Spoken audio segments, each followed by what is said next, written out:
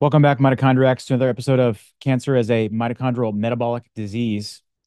So, I am altering course a tiny bit because I was planning on hitting the glycolysis and glucose inhibitors next, but I did a poll of all of you. And as of right now, glutamine inhibitors, DON and others are winning by 42%. And the closest second would be ivermectin at 23%, then bendazole, bendazole at 22%, medicinal mushrooms at 7%. And what my plan was of glucose inhibitors is at 6%. So I did alter course here, and I'm going to listen to you all of what you guys want to hear. So I'm going to focus the next several videos. I basically created a micro series on glutamine inhibition, and I'm going to talk about as many of the known both uptake inhibitors and glutamine utilization inhibitors as I could find in the literature. And unfortunately, many of the glutamine inhibitors are strictly research chemicals that no one will likely ever have access to at the bedside. But some of them are available, and some of them I'm sure you have heard about in the past. So let's get into it. I'm going to remind everyone that although aerobic glycolysis the Warburg effect utilizes glucose 10 to 30 times more than a normal cell. It also utilizes glutamine 10 to 30 times more than a normal cell as well. And that is part of this whole idea of metabolic reprogramming. And this paper is called Glutamine Reliance in Cell Metabolism in this review, we introduced the various biosynthetic and bioenergetic roles of glutamine based on the compartmentalization of glutamine metabolism to explain why cells exhibit metabolic reliance on glutamine. Additionally, we examined whether glutamine derivatives contribute to epigenetic regulation associated with tumorigenesis. And as we can see here in normal cell physiology, you have some amount of glucose going into the TCA cycle, some amount of glutamine. But during the metabolic reprogramming process, you have a bunch more glucose being utilized, it's not getting into the TCA cycle like it's supposed to. It's actually forming lactate.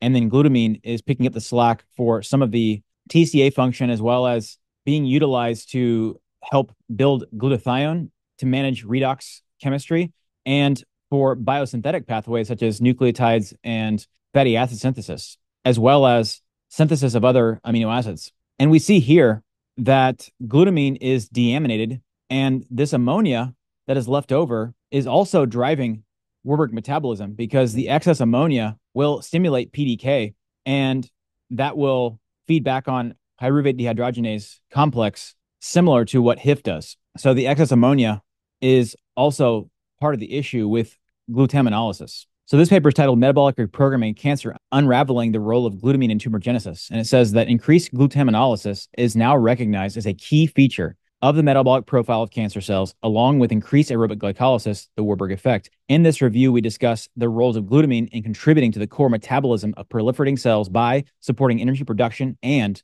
biosynthesis.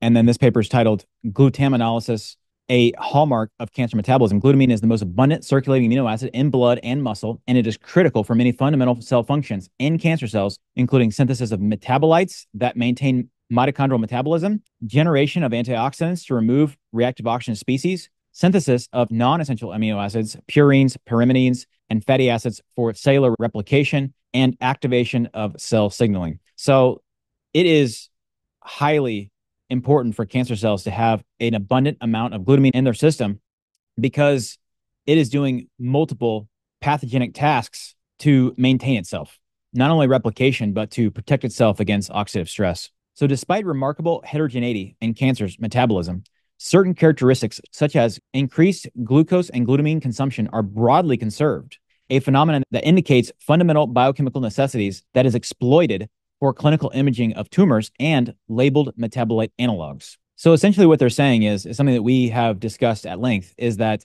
even though many different types of cancer cells originate from different types of tissues and they can have a variety of different genetic abnormalities and phenotypic expressions of those genetic abnormalities, there is this common ground among cancer that is well conserved no matter what type of cancer it is. And that is this hyper reliance on glucose and glutamine. And that is what metabolic therapy aims to achieve is to cut off that conserved biochemical mechanism. We have seen this slide before, and this is basically showing how hypoxia inducible factor 1 alpha and 2 alpha are the major node responsible for the upregulation of transporters that are responsible for glucose uptake, responsible for upregulation of glycolytic enzymes that help break down glucose, upregulation of lactate dehydrogenase enzymes to help further convert pyruvate to lactate, and then transporters for glutamine and glutamine utilization enzymes. That I think we have covered at length. What we have not covered that much are other things that are associated with the Warburg effect, and in particular glutamine. And that is things that you may or may not have heard about, things like KRAS and MYC. These are different signaling cascades that also have an effect on the glutamine metabolism aberrantly seen in cancer.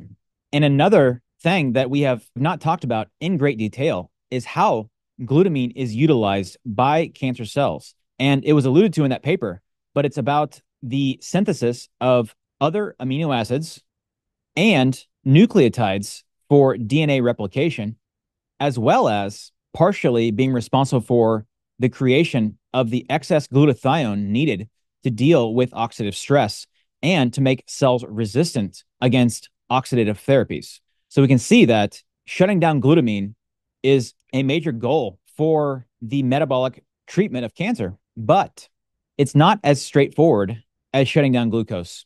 Unfortunately, glutamine deprivation can actually cause harm. And that's where this part of the equation becomes more nuanced because although the vernacular that glutamine is not an essential amino acid does not mean it's not critically important. It just means that we can make our own glutamine from other amino acids and from other substrates. So we don't necessarily have to take it in from the diet because a lot of people will ask, well, what kind of diet can I be on to restrict glutamine? And the answer is you really can't. A therapeutic ketogenic diet is going to be fairly low in protein. It's going to have about five to max 10% of your calories from protein, but you can still synthesize glutamine utilizing other amino acids and other substrates. So that makes it quote unquote non essential, means you don't have to take it in from the diet, but it's critical for many functions. So, one of those important functions is the immune response. And as it says here in this paper, a glutamine tug of war between cancer and immune cells, recent advances in the unraveling of the ongoing battle. And it says cancer cells heavily rely on glutamine as a critical nutrient for survival and proliferation, while immune cells require glutamine for activation and proliferation during immune reactions. This metabolic competition creates a dynamic tug of war between cancer cells and immune cells. Targeting glutamine transporters and downstream enzymes involved in glutamine metabolism holds significant promise for anti tumor immunity. So there's a big concern and a more of a nuanced approach that you have to take with glutamine. And this is where the research is still ongoing and needs a lot of work. But the bottom line is protocols are trying to be developed where you can starve cancer of the glutamine that it needs while still not depriving the immune system of the glutamine that it needs. And that is a much more difficult job to accomplish. And that could mean something as Dr. Seyfried has proposed, which is the press pulse, where you're pressing down glucose continuously, but you're pulsing in glutamine inhibitors to where you're just kind of knocking down cancer every time you pulse. And then during the off phases of the press pulse, you would allow the immune system to obtain the resources that needs to be able to function adequately. This is still an area of unsettled science, to say the least. But interestingly enough, in this paper, enhancing the efficiency of glutamine metabolism inhibitors in cancer therapy. And it says recent research has yielded important insights into the mechanisms that determine the tumor and the host immune responses to pharmacological perturbations of glutamine metabolism. Here we discuss these findings and suggest that collectively they point towards patient stratification and drug combination strategies to maximize efficacy of glutamine metabolism inhibitors as cancer therapeutics. And what it said ultimately in the conclusions is that instead, glutamine addiction and cellular dependence on glutamine metabolizing enzymes show a robust pan cancer correlation with the increased glutamate glutathione demand that follow activation of the cellular antioxidant response program. Essentially, what they're showing is that one of the major reasons why cancer relies on glutamine is actually to increase their ability to produce glutathione that allows them to have a robust antioxidant response system. And it says collectively work suggests that oxidative stress is a conserved biomarker for tumor dependence on glutamine. And tumors with genetic or pharmacologic addiction to the NRF2 antioxidant response pathway are best candidates for treatment with glutamine inhibitors. Supporting this idea, preclinical studies have shown that CB839 treatment synergizes potentially with radiation therapy and drugs that induce redox stress, drugs that basically produce excess oxidative stress. That would include things like certain chemotherapeutics, but IV vitamin C, hyperbaric oxygen, and radiation therapy. And it says a parallel approach to improve the efficacy of glutamine metabolism inhibitors is to harness their surprising enhancement of anti-cancer immunity. So essentially what research is starting to uncover is that although there is this tug of war between immune cells and cancer cells for the supply of glutamine, and that potentially long-term deprivation of glutamine could likely be detrimental to the human organism for a variety of reasons, immunity being one of those things it was showing that there's actually kind of a paradoxical enhancement of anti-cancer activity and immunity that happens when glutamine inhibitors are used in some patients, which is pretty fascinating. So this idea of blocking glutamine as an anti-metabolite and the whole class of anti-metabolite chemotherapeutics has been going on for a long, long time. As a matter of fact, the ones that most of us are even aware of due to Dr. Seyfried's awareness campaign is DON. And DON was discovered in the 50s and has been studied ever since. Some of the other ones that are on this list that are still utilizing research chemical names are not so well known and have been discovered as late as 2018. So, ongoing research and drug discovery in this area is still happening. And this paper is titled Exploiting the Achilles Heel of Cancer, Disrupting Glutamine Metabolism for Effective Cancer Treatment. It says in this review, we summarize the significant role of glutamine metabolism in tumor development and highlight the vulnerabilities of targeting glutamine metabolism for effective therapy. In particular, we review the reported drugs targeting glutaminase and glutamine uptake for efficient cancer treatment. So I'm not going to go over every single one of these. If you want to download this paper, it will have it in there an even more exhausting table than this. But it basically shows all of the known pharmacologic agents that are used and at least one non pharmacologic agent used for the inhibition of glutamine. And it talks about its level of toxicity, it talks about its absorption, it talks about some of the trials that have been done and gives the research papers and references that are in relation to whatever these compounds are. I found some diagrams that I think would be a little more helpful in explaining how these things are proposed to work. So there are some major mechanisms that are utilized within glutamine metabolism, and that is glutamine uptake. Essentially, how does glutamine get from systemic circulation into cells, right? It's going to be uptaked into the cells. And there are several different transporters that are used. For example, this SLC 1A5 or this SLC 7A11. And these have several different agents that are known to affect these various transporters.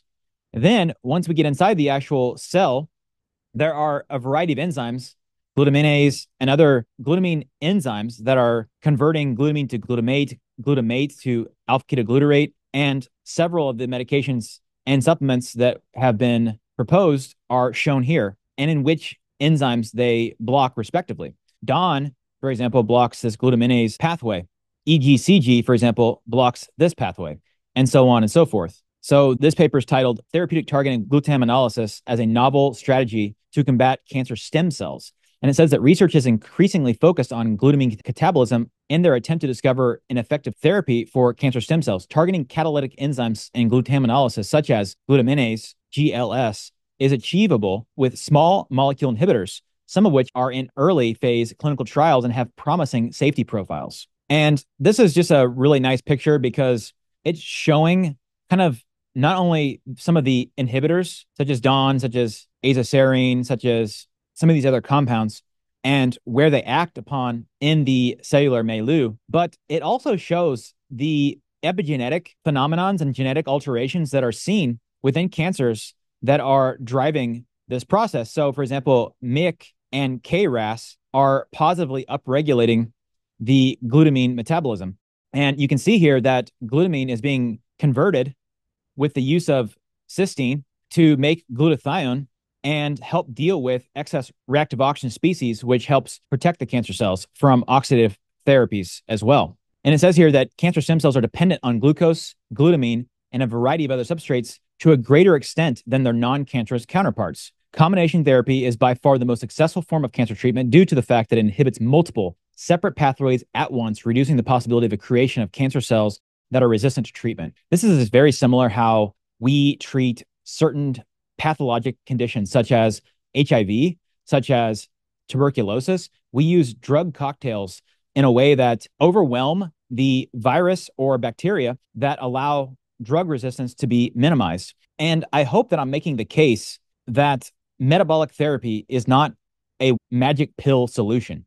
It will never be a magic pill solution. It will never be a silver bullet. It will have to be used in combination. And the foundation of that combination is going to be a therapeutic, calorie restricted, in the right cases, ketogenic diet, fasting, and the utilization of exogenous ketones. That is the foundation. Then you can build on top of that foundation. And one of the most important things to build upon, apart from the decrease in serum glucose, intracellular uptake and utilization of glucose, is the intracellular uptake of glutamine and glutamine utilization by some of these potential agents. And ultimately, what I'm going to be doing in the next several videos is I'm going to be picking apart as many of these agents as I can.